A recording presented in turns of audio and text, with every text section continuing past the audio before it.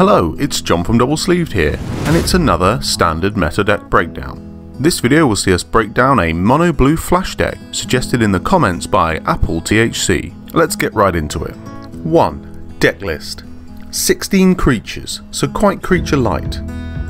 4 Spectral Sailors, 1 drop with flash flying and has the ability for 3 and a blue to draw a card.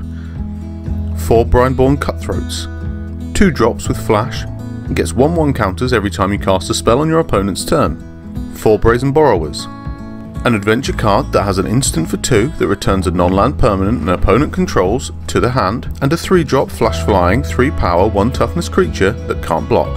4 Sea Octopuses, 3 drop flash 2 2 that draws a card when it deals combat damage and can mutate for 2.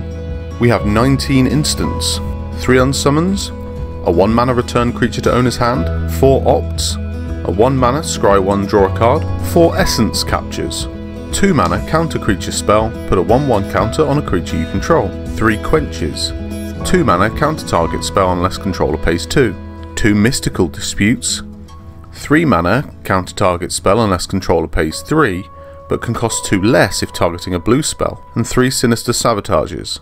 3 drops, counter target spell, Surveil 1. The last non-land card is 3 Starlight Mantles, a 2 mana aura with flash, enchant creature you control, it gains hexproof until the end of your turn and gets plus 1 plus 1. To round up the 60, we have 2 Castle Vantresses, comes into play tapped unless you control an island, and for 4, and tapping, Scry 2, and 20 islands. 2.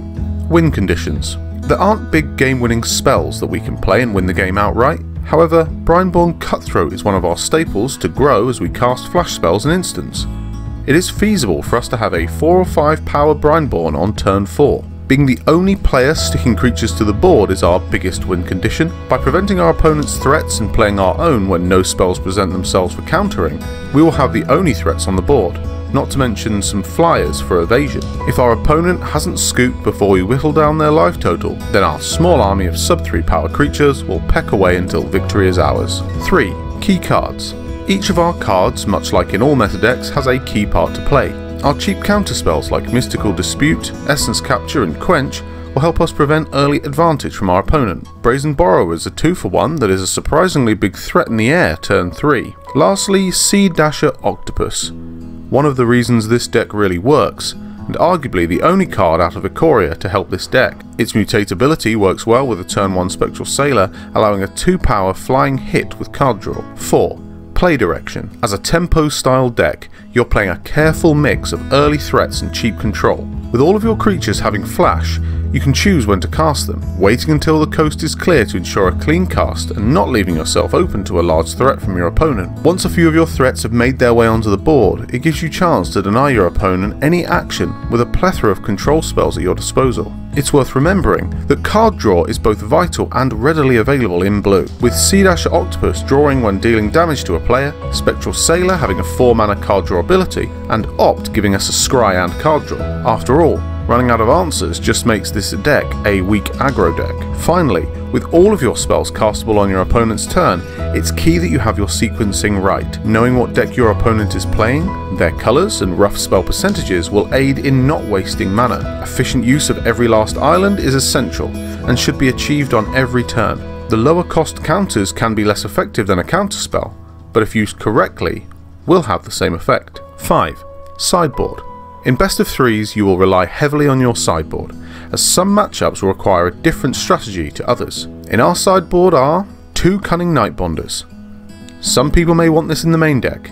It offers a discount on all flash spells and prevents them from being countered, but it is difficult to say if its benefits outweigh its cost every time, so it would better suit a mirror match or a longer game where the value can be found over several turns. Two Ashiok Dream Renders. Stopping library searches and exiling your opponent's graveyard makes this a clear counter for decks that use a lot of fetch style abilities on cards such as Whisper Squad, and graveyard decks like Sacrifice or using escape mechanics. Two Grafdigger's Cages, another hard counter to sacrifice and recursion decks for one mana, and as an artifact, it's harder to remove. You'll be glad to see these in your sideboard when the time is right. Two more Mystical Disputes. Any deck playing blue will dread the casting of Mystical Dispute, forcing a 3 mana increase to cast target spell, and against blue, it costs only 1 mana to cast. This is clearly to gain efficiency against any deck playing blue. 2 Disdainful Strokes. If you're playing against a popular large spell deck, Keruga, Yorion, Reclamation, you name it, this counters it. If the meta continues to favour these decks,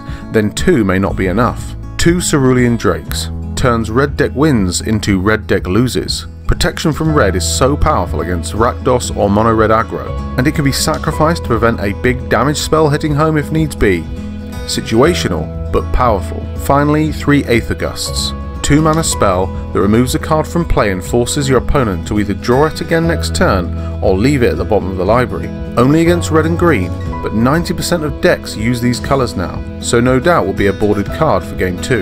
And there you have it. Now you can go and win another Mythic tournament knowing once again you owe all your expertise to this video. If you enjoyed this video then drop us a like and subscribe, it means a lot to us. I'll be releasing further deck breakdowns in the future, and if there's one you would like to see next, then leave me a comment below. See you in the next one.